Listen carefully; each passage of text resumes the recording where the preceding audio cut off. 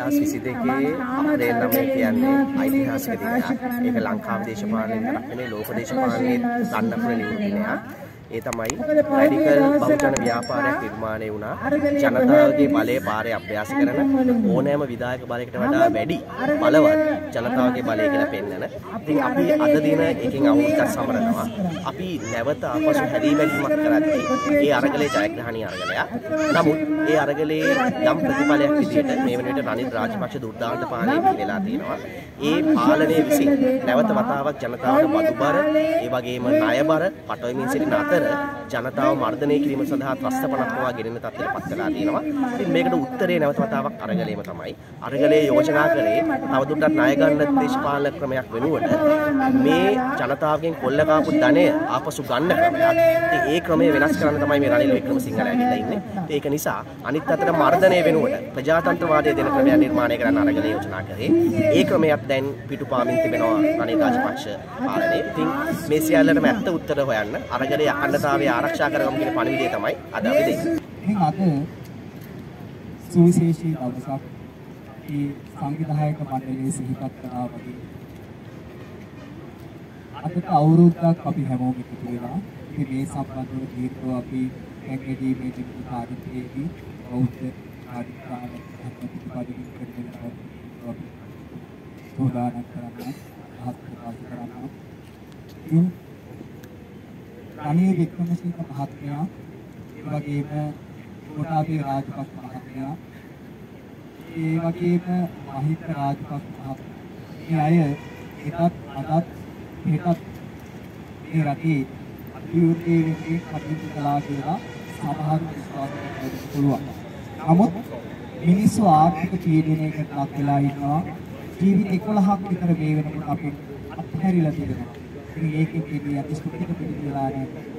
නගරයට ආවත් ගමට කියලා අපිට මේ එකම දේ තමයි මිනිස්සු කොහොම පීඩනයකින් ජීවත් වෙනවා.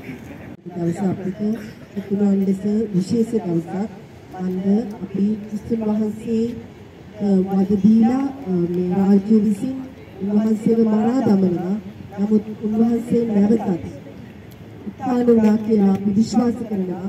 මන්ද උන්වහන්සේගේ ඉගැන්වීම් උන්වහන්සේගේ තහම ඒ දර්ශනය මරා දමන්නට කිසිම රාජ්‍යයකට කිසිම බලවේගයකට පුළුවන්කමක් තිබුණේ නැහැ. ඒ නිසා අපි ගැඹුරින් විශ්වාස කරන්නේ එතනයි. අපි කිතුරුවන් විදියට ඒ උත්ථානය අපි විශ්වාස කරනවා. උන්වහන්සේගේ ඒ සාධාරණ රාජ්‍ය යුක්ති සහගත දේශය උන්වහන්සේ ගොඩනගන්නට ඒ තරපු ප්‍රයත්නය තවම අද දවසේ කීප දෙනෙකු ඒ කාර්යය ඉදිරියට කරගෙන යනවා කියන එක අපි ගැඹුරින් විශ්වාස කරනවා ඒක අපිට දකින්න තියෙනවා.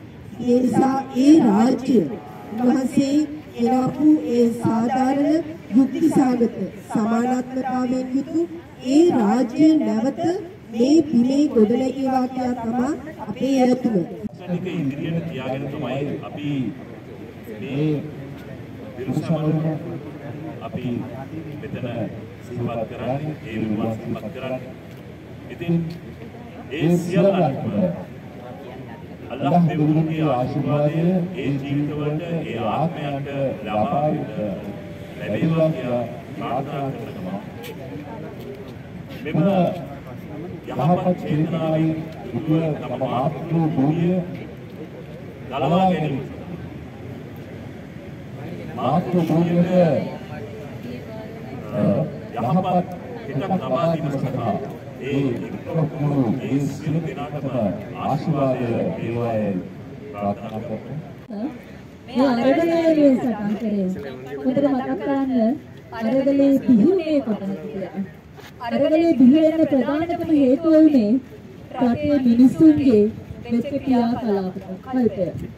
ඒක හේතුව කුංචි දරුවන්ට කන්න බොන්න නැති වුණා. මිනිස්සු පොලිං වල මැරුණා.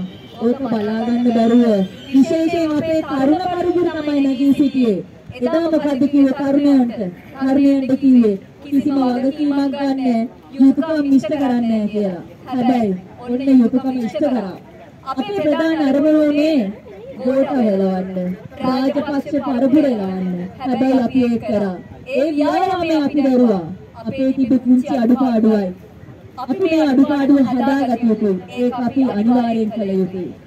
අපි ඒ අරගලේ පටන් ගත්ත එකම හේතුව තමයි එදා දවසේ තිබිච්ච ම්ලේච්ඡ තුච්ඡ අමන ඒ දේශපාලන සංස්කෘතිය මේ මාතෘභූමියෙන් සම්පූර්ණයෙන්ම අතුදා දමලා හරි වැඩ පිළිවෙලක් එක්ක හරි ක්‍රමවේදයක් එක්ක සිස්ටම් එකක් එක්ක මේ අපේ රටේ ජීවත් වෙන අපේ රටේ මිනිස්සුන්ට සතුටින් ජීවත් වෙන්න පුළුවන් පරිසරයක් හදන්න. අනුගමන හුස්ම පොරවත් ගන්න. එහෙම නොතිබිච්ච කාලයකදී මේ හරියටම දින 365කට කලින් මේ අපේ ගෝල් පේස්කට මේ ශ්‍රී ලංකාවේ සිටිච්ච හිටපු ශ්‍රී ලංකාවේ ඉපදිච්ච අපේ ලේ කකින මිනිස්සු ටික එකතු වෙලා අපි අරගලයකට පණ දුන්නා.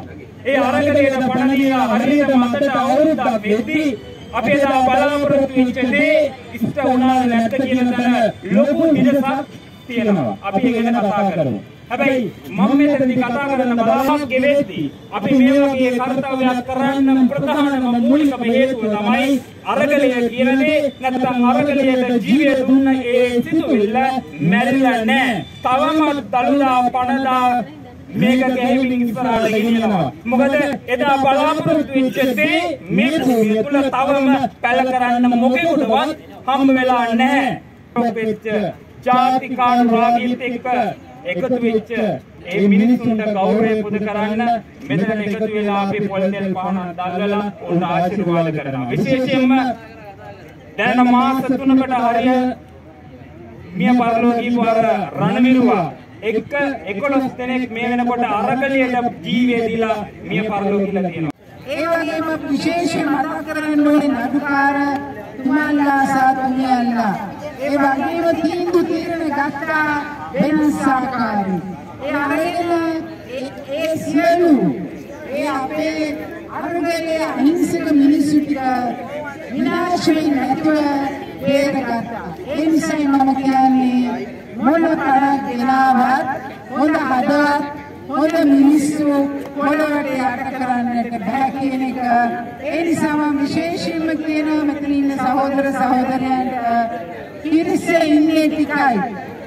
හැබැයි ඔබ එදා කරපු අරගලය මේ රටේ ජනතාව තේරුම් අරගෙන අද ලංකාවේ බොහෝ පිරිසක් ඉන්නවා ගෙවල් වල ඔබට ආදරය කරන. ඒක අමතක කරන්න බෑ. එයා ගෝල් පේස් නෑ. නමුත් එතන ඉඳගෙන ඔබ ආදරය කරනවා. ඒ නිසා අරගලේ දිගින් දිගටම ඉදිරියට යනවා. කිසි කෙනෙක් ඒක මඩන්න හම්බෙන්නේ නැහැ. ඒ නිසා මම කියනවා අරගලේ අම්මාවරු වෙනුවෙන් අරගලයට ජය වේවා. මාතෘ භූමියට දිනෙන් දින ජය වේවා.